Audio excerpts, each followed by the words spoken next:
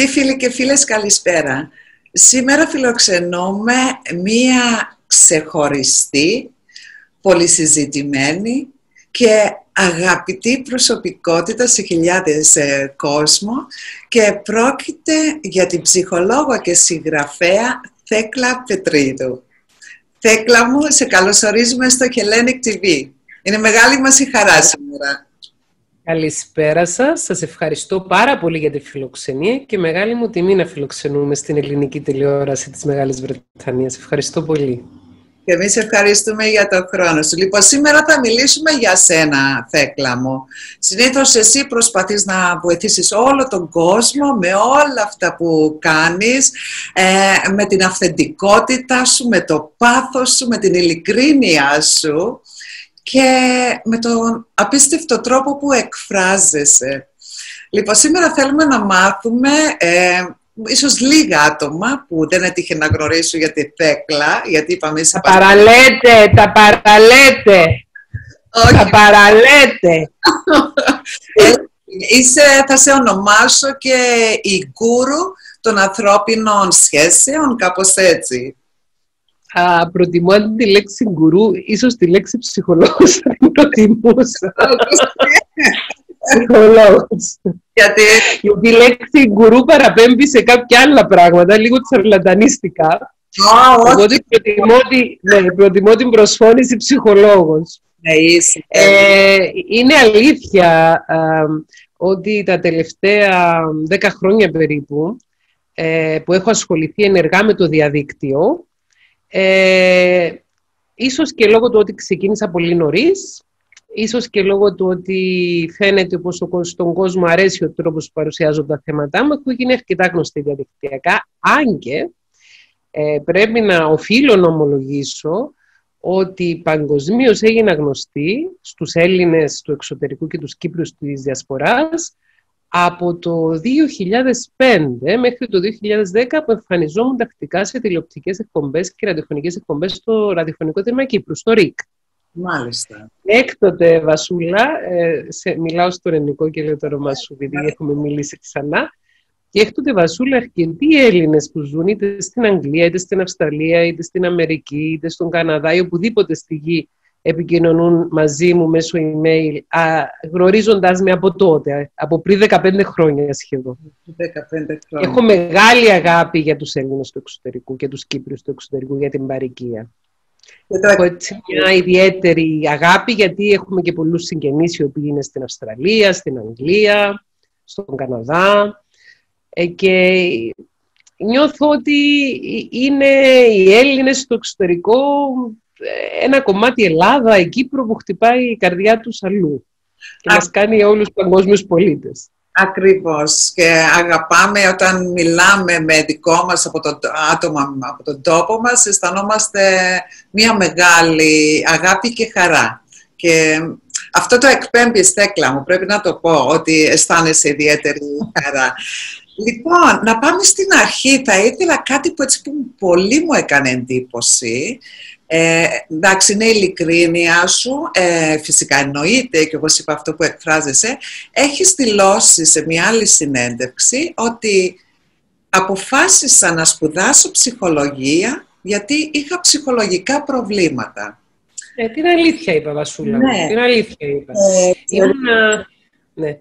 Ε, ότι λένε οι καλύτεροι θεραπευτές είναι αυτοί που έχουν ε, είχαν, περάσανε και ίσως παίρνουν κάποια προβλήματα, έτσι έχουν περισσότερο πάθος, πράγματα που ήδη περάσανε ή μέσω της δουλειάς τους που γνωρίσανε για να μην τα ζήσουν άλλοι, για να βοηθήσουν. Λοιπόν, ε, καταρχάς η λέξη που ψάχνεις ίσως είναι η λέξη ενσυναίσθηση που στα αγγλικά λέγεται empathy ε, είναι ένα αντιδάνειο από την ελληνική γλώσσα, το οποίο όμως δεν σημαίνει εμπάθεια, σημαίνει ε, την ικανότητα να μπορείς να συναισθανθείς τι μπορεί να βιώνει ο άλλος ή να έρχεσαι κοντά στο συνέστημα του άλλου. Είναι αλήθεια αυτό που λες ότι και ότι το έχω δηλώσει σε συνέντευξη, αλλά και ότι είναι η πραγματικότητα, ότι ο βασικός του λόγος που αποφάσισα να σπουδάσω ψυχολογία ήταν ότι αντιμετώπιζα ίδια ψυχολογικά θέματα. Είχα ψυχολογικές δυσκολίες. Ε, ως μαθήτρια ήμουνα ε, πολύ καλή μαθήτρια άριστη. Είχα τελειώσει πρώτη στο σχολείο μου και στο τμήμα ψυχολογίας στο Αριστοτελείου Πανεπιστημίου Θεσσαλονίκης είχα εισαχθεί πρώτη με τις παγκύπριες εισαγωγικές εξετάσεις. Μπορούσα να τις σπουδάσω ό,τι ήθελα. Από τον κλάδο που ήμουν. Ήμουν στο κλασικό. Εμείς τότε ήμουν 45 χρόνων τώρα. Το 93 τελείωσα το Λύκειο. Είχαμε ακόμη το κλασικό, το πρακτικό, το οικονομικό, όπως ήταν παλιό. Δεν ξέρω αν εσύ τελείωσες Λύκειο στην Κύπρο. Ναι, ναι, ναι. ναι, ήμουνα με το παλιό σύστημα, ήταν πριν το ενίο Λύκειο. Άρα θα μπορούσα να πω φιλόλογος, θα μπορούσα να πω δασκάλα, θα μπορούσα να πω σε ένα από η νομική, αλλά επέλεξα συνειδητά να σπουδάσω ψυχολογία επειδή ήθελα να μάθω τι είναι αυτό, τι είναι αυτά τα πράγματα, τι είναι αυτό το πράγμα που μας επηρεάζει τόσο πολύ, τι, τι, τι, τι συμβαίνει με τα συναισθήματα του ανθρώπου, με τις σκέψεις του, με τις διάφορες ψυχικές διαταραχές, γιατί είμαι Κυπρέα, είμαι Κύπρια και οι Κύπροι έχουμε ωραιότατα γονίδια, εξαιρετικά γονίδια, Έχουμε πολλούς ανθρώπους που είναι, είναι πρικισμένοι, που είναι φύς, που είναι καλλιτεχνικές φύσεις. Έχουμε πολλές ωραίες φωνές, πολλούς ποιητές, πολλούς ζωγράφους, αλλά έχουμε και ωραιότατα γονίδια που μας προδιαθέτουν για κατάθλιψη και αγχώδεις διαταραχές, τα οποία τα κληρονομούμε από γενιά σε γενιά. Και επειδή και εγώ προέρχομαι από μια οικογένεια που έχει αυτό τα χαρακτηριστικά. Δηλαδή, κάποια μέλη από την οικογένεια μας έχουν μια, έχουμε μια τάση προς το άγχος και την κατάθλιψη, τις φοβίες, τις αγχώδεις διαταραχές.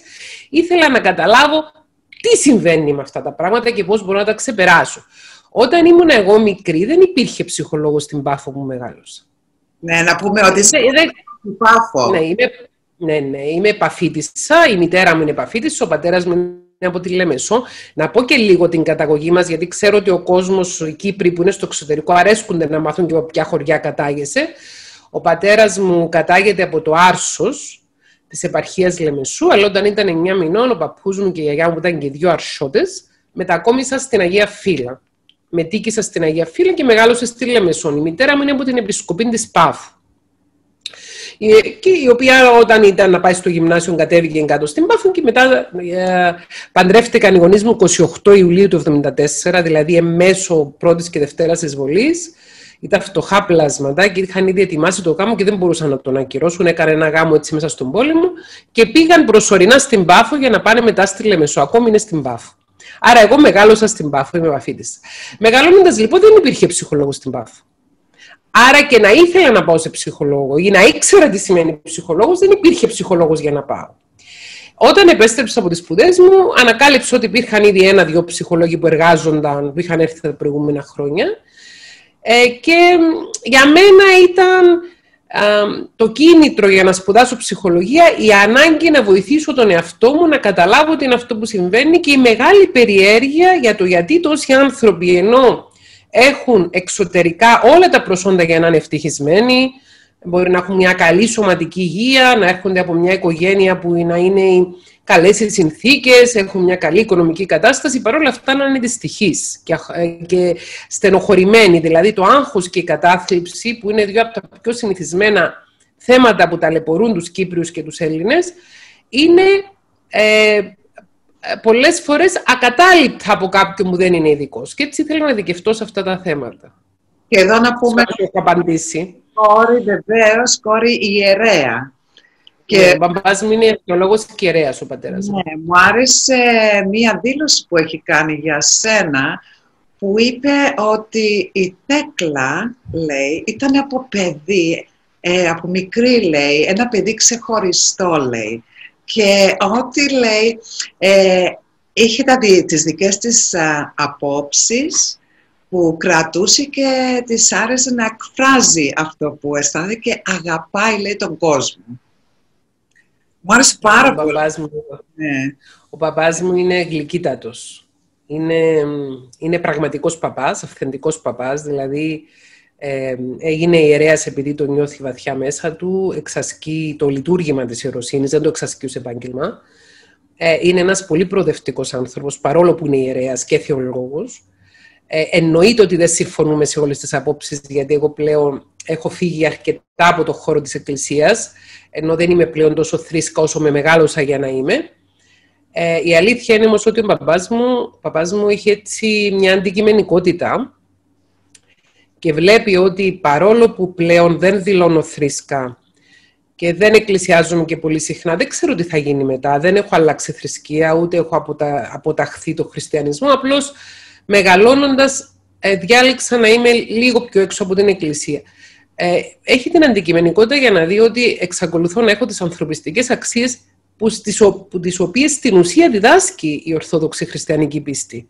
Αν κάποιος ε, έχει μεγαλώσει μέσα στην εκκλησία, έχει μεγαλώσει στα κατηχητικά σχολεία όπως μεγάλωσα εγώ, έχει διαβάσει τα γεροντικά όλα, έχει διαβάσει την Αγία Γραφή, έχει κάνει τόσα πολλά μαθήματα θεολογικά, δεν μπορεί παρά να του έχουν παραμείνει ανθρωπιστικές αξίες κατά τη γνώμη μου και νιώθω μεγάλη ευγνωμοσύνη για την ανατροφή μου. Ε, που ήταν μια ανατροφή που περιείχε αρχές και αξίες. Ανεξαρτήτως αν εγώ δεν έδωσα ακριβώς την ίδια στα παιδιά μου ή αν δεν έχω πάρει όλες αυτές τις αξίες να τις ενσωματώσω, στο νιώθω ευγνώμων γιατί με έμαθα να είμαι πνευματικός άνθρωπος. Ακριβώς αυτό το δείχνεις, ε, Θέκλα μου. Λοιπόν, για 20 χρόνια περίπου έχεις εργαστεί σε ιδιωτικό χώρο με ζευγάρια. Έχεις κάποιο ιδιαίτερο ενδιαφέρον με... έχω εργαστεί ως ιδιώτης ψυχολόγος από το 1998, τέλη 97, αρχές του 1998, μέχρι και το 2018 που έκλεισα το γραφείο και έβλεπα ενήλικες, ζευγάρια και μερικές φορές και εφήβους ή νεαρούς ενήλικες. Ε, σταμάτησα, έκλεισα το γραφείο το 2018 όταν μεταπίδησα στην τηλεόραση και στη συγγραφή. Ε, δεν έχω πάψει να είμαι ψυχολόγος, ε, εξακολουθώ να έχω άδεια εξασκήσεως επαγγέλματος. Εάν θελήσω, ανα πάσα στιγμή μπορώ να ξαναρχίσω να βλέπω κόσμο, ίσως να ξεκινήσω σε κάποια φάση να βλέπω κάποιο κόσμο ε, για να είμαι κοντά και όλα στο αντικείμενο. Ε, εκείνα τα 20 χρόνια έχω δει πάρα πολλούς ανθρώπους. Βασούλα, πάνω στο κινητό μου έχω 15.000 επαφές, αριθμούς, εκ των οποίων οι 1.000-1.500 είναι άνθρωποι που δεν είχαν περάσει από το γραφείο. Ε, από την πρώτη μέρα που άνοιξα γραφείο στην Πάφο, είχα διάφορα γραφεία και στην Πάφο, είχα γραφείο και στη Λευκοσία σε διάφορα μέρη. Δηλαδή είμαι άνθρωπος ο οποίος μετακινούμε συνεχώς και μου αρέσει η αλλαγή και τώρα έτσι άρχισα να φλερτάρω με την ιδέα των διαδικτυακών συνεδριών γιατί τώρα λόγω του, της πανδημίας όλο και περισσότεροι ψυχολόγοι έχουν αρχίσει να κάνουν διαδικτυακές συνεδρίες και υπάρχουν μάλιστα και μελέτες και από, το από την Αμερικανική Ψυχιατρική Εταιρεία που λένε για το ωφέλη των διαδικτυακών συνεδριών. Ίσως στο μέλλον να ξεκινήσω να κάνω έτσι αραιά και που κάποιες διαδικτυακές συνεδρίες ε, παρόλο που το, το main focus μου, ε, η κύρια στο, προσήλωσή μου είναι στη δημιουργία βίντεο για το YouTube και στη συγγραφή του βιβλίου μου και θέλω να σας πω ότι έχω τελειώσει με επιτυχία την συγγραφή του, ε, του έκτου μου βιβλίου. Έχω χάσει τη σειρά. του έκτου μου βιβλίου, το οποίο έχω παραδώσει 29 Νοεμβρίου 2020 στον εκδοτικό οίκο και αναμένεται να κυκλοφορήσει την άνοιξη του 2021 από το ψυχογειό το οποίο είναι ίσως το καλύτερο βιβλίο που έχω γράψει. Θα το πούν οι αναγνώστες αυτό το πράγμα, αλλά μου έχει πάρει πολύ χρόνο να το γράψω. Έχω αφιερώσει πάρα πολύ ενέργεια και ξαναδιαβάζοντας το βιβλίο πρωτού το στείλω, μου άρεσε. Ίσως ακούγεται κεντρικό αυτό που λέω,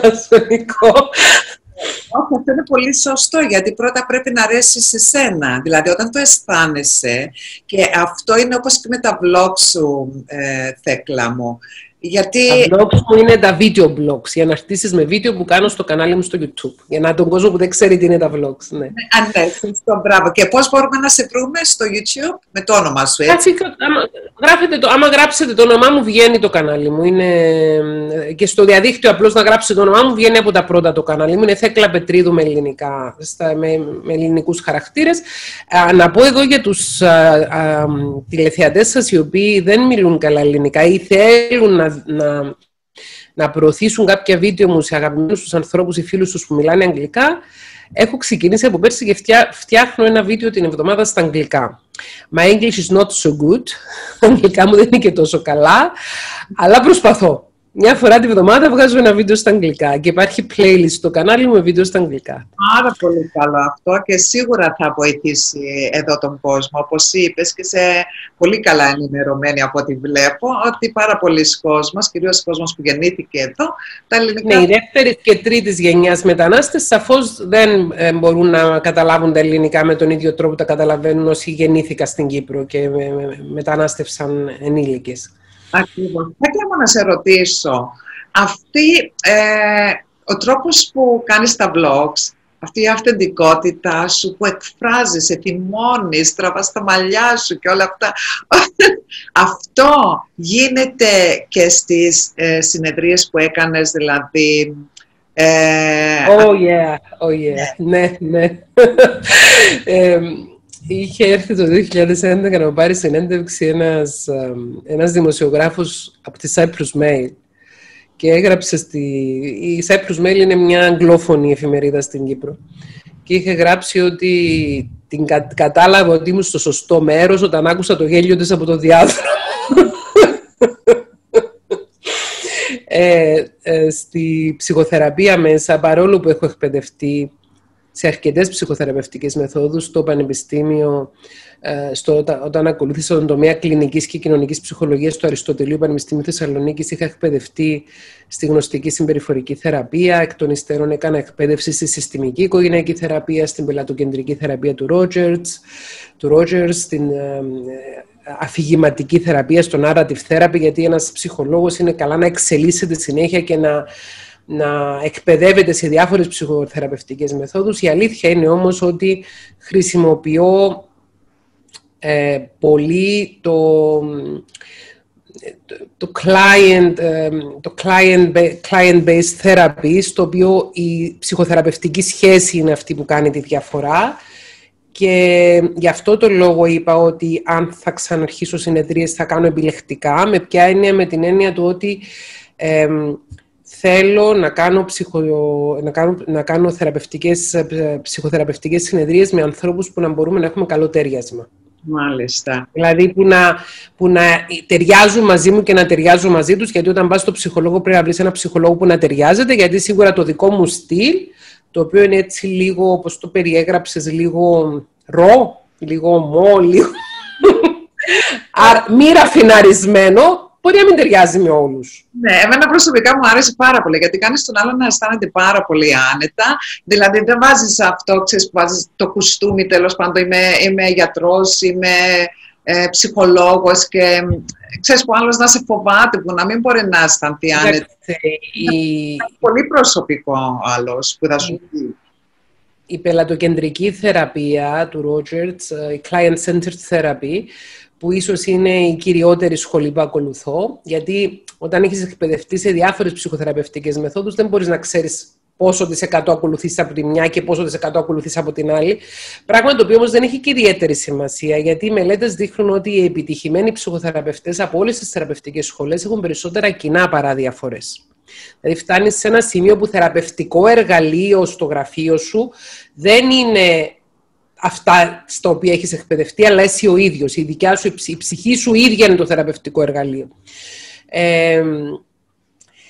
νομίζω ότι αν είσαι παρόν στη ψυχοθεραπευτική σχέση και κάνεις τη δουλειά σου ε, και τη βλέπεις ως λειτουργήμα και την εξασκείς ως λειτουργήμα, μπορείς να καταλάβεις κιόλας ποιος σηκώνει και ποιος δεν σηκώνει κάποια στοιχεία χαρακτηριστικά. Αυτό που έχω οπωσδήποτε υπόψη μου, Βασούλα, είναι η ευθύνη του θεραπευτή ώστε να μην βλάψει το θεραπευόμενο του.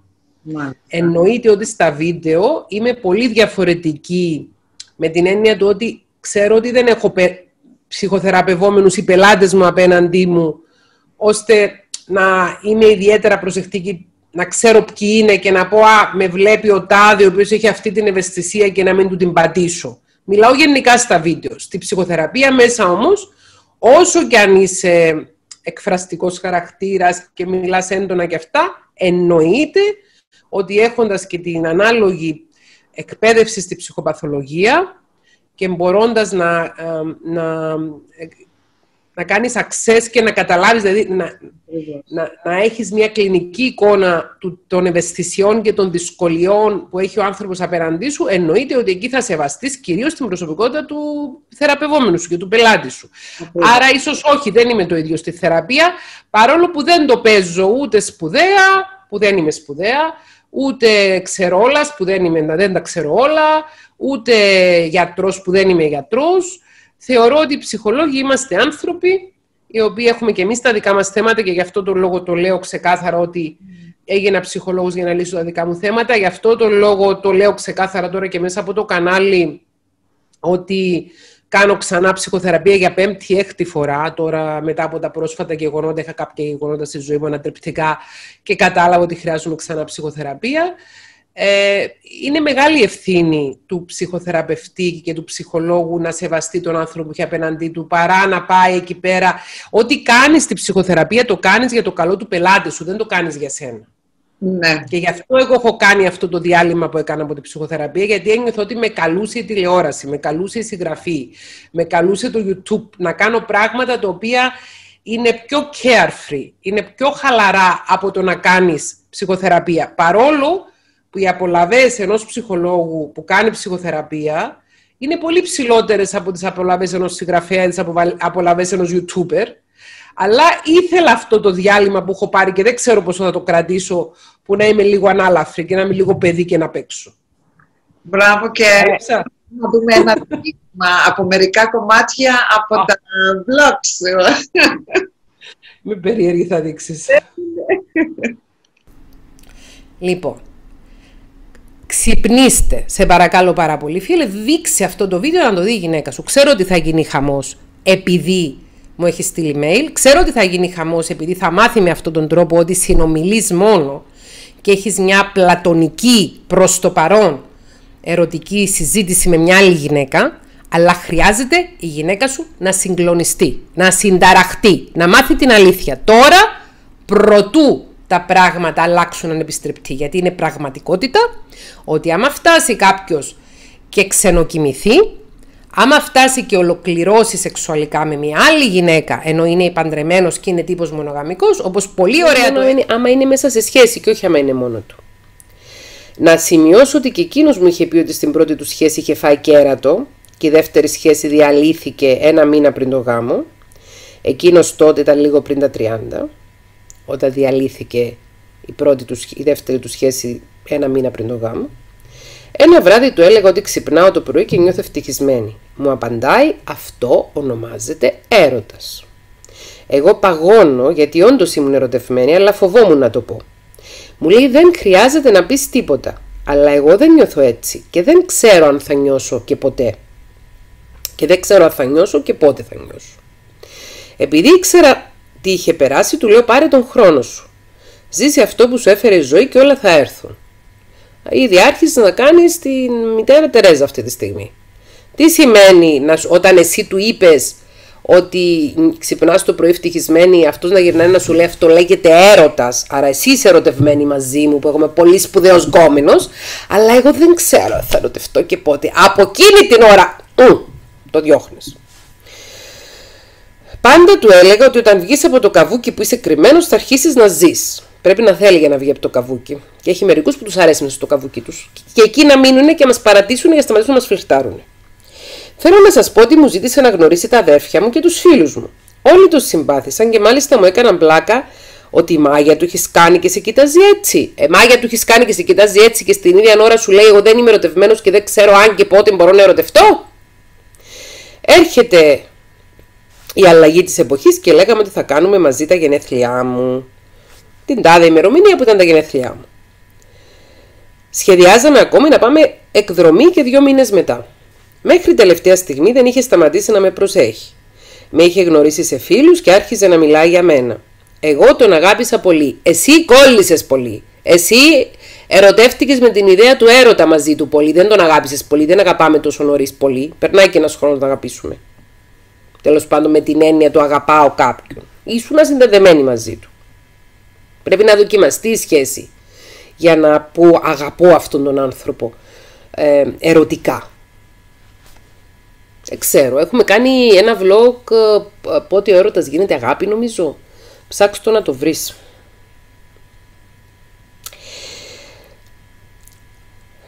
Σκέφτηκα, λες να είναι ο άνθρωπός μου; Βγαίνουμε για ραντεβού, λίγες μέρες πριν από τα γενέθλιά μου. Ξεκινάει μια κουβέντα ότι δεν αισθάνεται ερωτευμένος σαν εμένα και με αγαπάει σαν άνθρωπο. Στο είχε πει και προηγουμένως, αλλά επέλεξες να μην το ακούσεις. Δεν με κοίταζε στα μάτια όταν μου μιλούσε γιατί την τρεπόταν όπως έλεγε. Όταν έρχεται ο άλλος και λέει Δεν είμαι ερωτευμένος μαζί σου, του λες Τι γυρεύεις σε μια ερωτική σχέση αφού δεν είσαι ερωτευμένος, ξού, άντε από εδώ. Και κάνεις και καυγά. Και άμα κάνεις τον καυγά, μπορεί να τελειώσει η σχέση, αλλά θα τελειώσει πιο νωρίς, θα πληγωθείς λιγότερο. Δεν με κοίταζες στα μάτια όταν μου μιλούσε γιατί την τρεπόταν, όπως έλεγε. Σιγά που τρεπόταν, φοβόταν να αντιμετωπίσει τις ευθύνες του. Η απάντηση μου ήταν γιατί δεν επιτρέπεις τον εαυτό σου να ζήσει, άλλη εσύ, που νομίζω ότι δεν επιτρέπεις τον εαυτό του να ζήσει. Αγάπη μου δεν έχει να κάνει.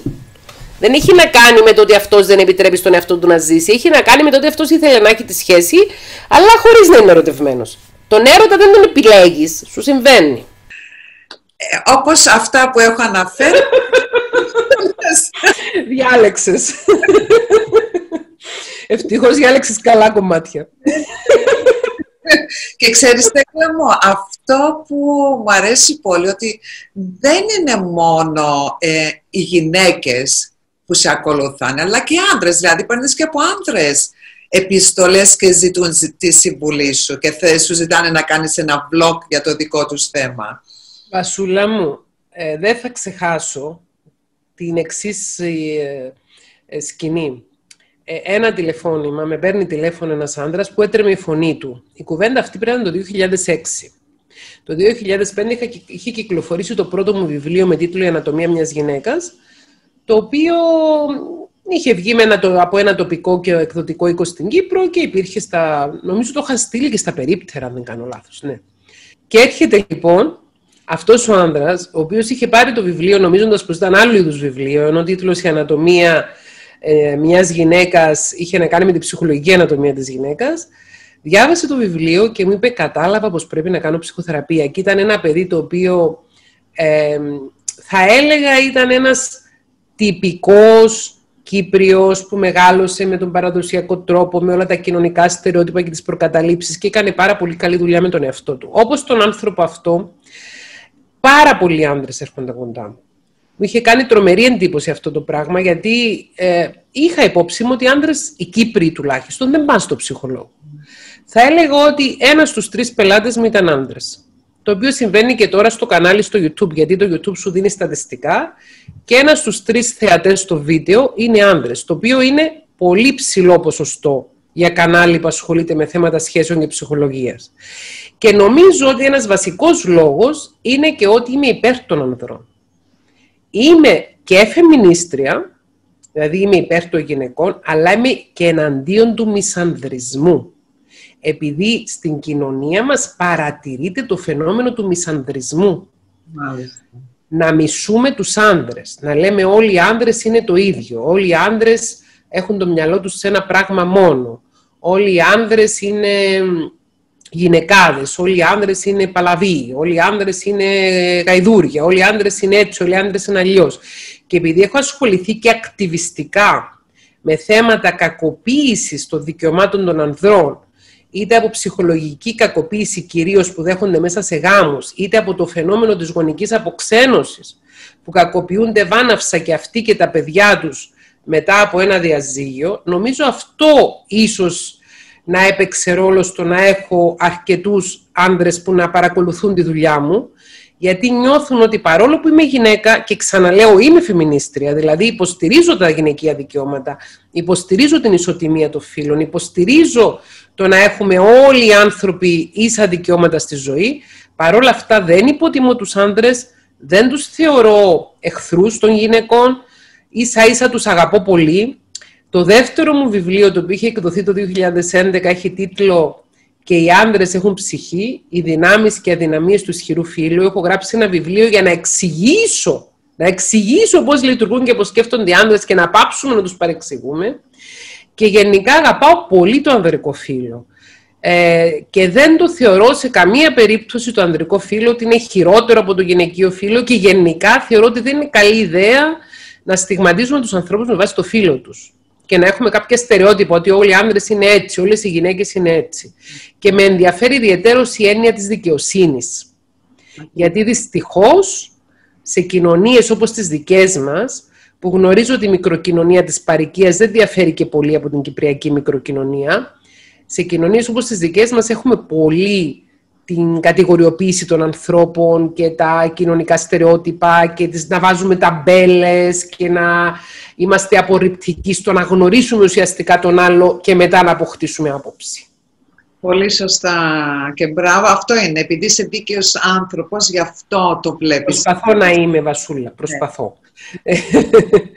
Με κάποιες φορές φαντάζομαι δεν τα καταφέρνω, αλλά προσπαθώ να είμαι δίκαιη. Κοίταξε, αυτό είναι πολύ σημαντικό. Όταν αναγνωρίζουμε, ε, δηλαδή, και θέλουμε να καλυτερεύσουμε κάποια πράγματα για τον εαυτό μας, όπως είπες, ότι ε, ναι, και εγώ παίρνω ψυχοθεραπεία και μάλιστα σε κάποια φάση είχες πει ε, σε κάποια άλλη συνέντευξή σου ότι εμείς οι ψυχολόγοι χρειάζομαστε περισσότερο τη ψυχοθεραπεία.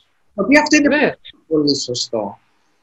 Είναι... Για μένα είναι αδιανόητο κάποιος να, να κάνει ψυχοθεραπεία σε άλλους χωρίς να έχει κάνει ο ίδιος ή να κάνει κατά διαστήματα ο ίδιος. Εντάξει, υπάρχει μια απαραίτητη ποσότητα ψυχοθεραπείας, κάποιες ώρες ψυχοθεραπείας που πρέπει να κάνεις για να για να αποκτήσεις την πιστοποίηση ότι είσαι ψυχοθεραπευτής σε κάποια ψυχοθεραπευτική σχολή. Παρόλα αυτά όμως, θεωρώ ότι είναι και θέμα προσωπικής ευθύνης του ίδιου του ψυχολόγου που εξασκεί ψυχοθεραπεία και ο ίδιος να ψυχοθεραπεύεται ή να κάνει τουλάχιστον co-counseling. Δηλαδή να κάνει συναντήσεις, γιατί όλο το διάστημα που δεν έκανα ψυχοθεραπεία προσωπική, γιατί δεν κάνω συνέχεια θεραπεία, ψυχοθεραπεία προσωπική, κάνω co-counseling. Δηλαδή συναντιέμαι με άλλους συναδέρφους που συζητούμε το πώς νιώθουμε, βοηθούμε ένας τον άλλο για να αντέξουμε αυτό το πολύ δύσκολο επάγγελμα. Γιατί είναι ένα από τα πιο δύσκολα επαγγέλματα και μάλιστα, Βασούλα μου, έχω αποτρέψει και τα δυο μου τα παιδιά από το να σπουδάσω ψυχολογία. Και το γιο μου και την κόρη μου. Τους απέτρεψα. Και Ακούγεται κακό. Η κόρη, έτσι, η κόρη σου στα δικηγορικά, αν δεν κάνω λάθος, πήγε. Ναι, μπράβο. Ναι, η κόρη μου σπουδάζει νομική, είναι ένα παιδί πολύ, πολύ δυναμικό, που έχει πολύ ευγλωτία, από μόνη της, χωρίς καμία δικιά μου παρέμβαση. Έχει ασχοληθεί πάρα πολύ και με τον προσκοπισμό, έχει ταξιδέψει σε όλο τον κόσμο με τους προσκόπους, είναι μια πολύ καλή πρόσκοπος. Μόνη της ανακάλυψε τον προσκοπισμό, μόνη της, μόνη της ασχολήθηκε και επίσης έχει ασχοληθεί πάρα πολύ και με την Κυπριακή Παιδοβουλή, αλλά και με την Ευρωπαιδοβουλή και είναι έτσι, ε, της βγαίνει αυτό και την ενδιαφέρουν πάρα πολύ τα ανθρώπινα δικαιώματα. Πάρα πολύ. Ε, η κόρη μου δεν είχε σκεφτεί για ψυχολόγος. Ο γιος μου είχε σκεφτεί, αλλά τον απέτρεψα. Τον απέτρεψες. Τον απέτρεψα γιατί δεν θέλουν να ταλαιπωρούνται τα παιδιά μου.